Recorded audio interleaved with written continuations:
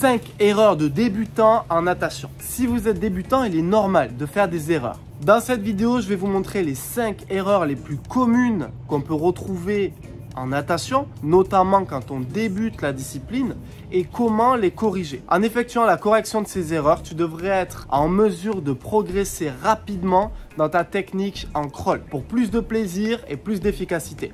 Dans cette vidéo, on verra en 1 une erreur commune de respiration. En 2, on verra une erreur d'appui très intéressante. En 3, on parlera de ta position de tête. En 4, on parlera de la position de corps et en 5, on parlera de tes battements. On va faire une vidéo simple, compréhensible et qui puisse t'aider dès ta prochaine séance. Un petit pouce bleu si le concept de cette vidéo te plaît. Retrouve-nous tous les vendredis pour des nouvelles erreurs à corriger en natation. N'hésite pas à t'abonner pour retrouver nos vidéos chaque semaine. Prêt à devenir un meilleur nageur? C'est parti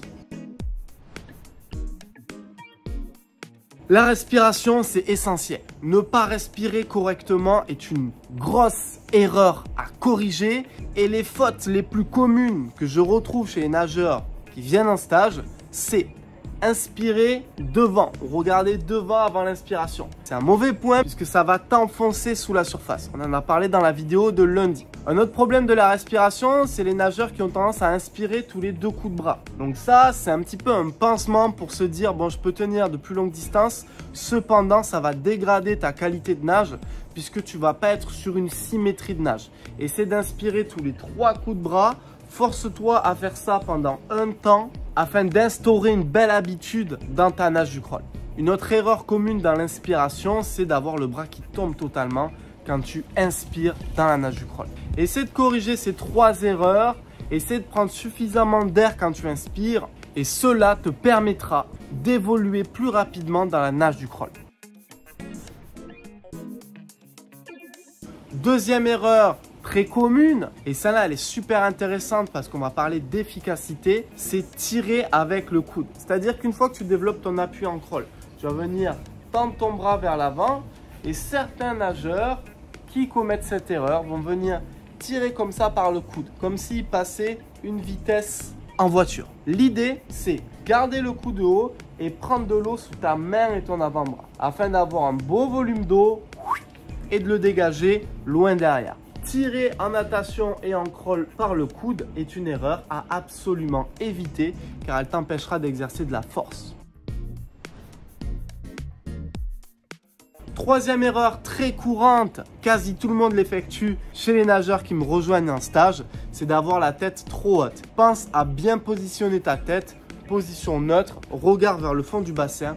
On en a parlé lundi, tu peux retrouver ma vidéo dans le petit encart qui s'affiche juste là-haut. Position de la tête neutre, bonnet sous la surface, regard vers le fond de la surface, tête fixe qui ne bouge pas dans tous les sens. Petite parenthèse, si tu souhaites que je t'accompagne en natation, euh, dans la description, tu trouveras ton programme en ligne 10 étapes pour un crawl parfait. On avance ensemble à travers tes tutoriels inédits, tous les exercices et éducatifs illustrés et commentés et les séances PDF adaptées à ton niveau. Le lien est dans la description. 10 étapes pour un crawl parfait. Tu vas changer définitivement ta nage du crawl. Ça se passe dans la description. Une autre erreur très commune et dont on ne fait jamais très attention, c'est la position de notre corps. Nager à plat, c'est-à-dire sans effectuer de rotation, va instaurer tout un tas d'éléments négatifs dans ta nage. Tu vas avoir beaucoup de difficultés à passer les bras, à inspirer, à te dégager et aller chercher loin devant. L'idée quand on nage le crawl, ce n'est pas de nager à plat, ça c'est une erreur. L'idée c'est d'effectuer une belle rotation à chaque coup de bras pour pouvoir engager ton épaule vers l'avant, libérer ton bras et prendre de la hauteur et placer facilement tes inspirations. Nager à plat, grosse erreur. Tu dois absolument l'éviter et essayer d'instaurer une belle rotation à chaque coup de bras dans ta nage du crawl.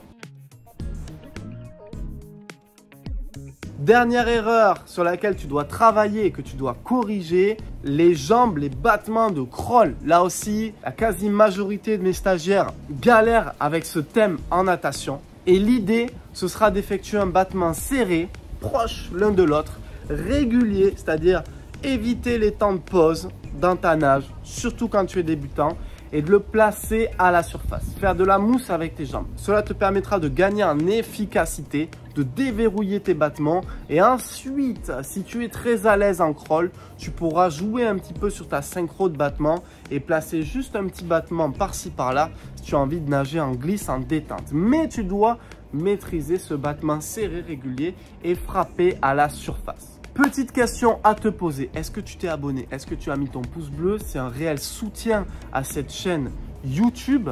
Marque-moi dans les commentaires si tu penses effectuer une de ces erreurs en crawl, en natation. Et si ce n'est pas le cas, bah, tu peux nous marquer tes solutions, celles que tu connais euh, et que tu conseilles en commentaire pour corriger tes erreurs. Tu peux aussi partager ton expérience en commentaire. Abonne-toi à cette chaîne YouTube. C'était Malcolm. Ciao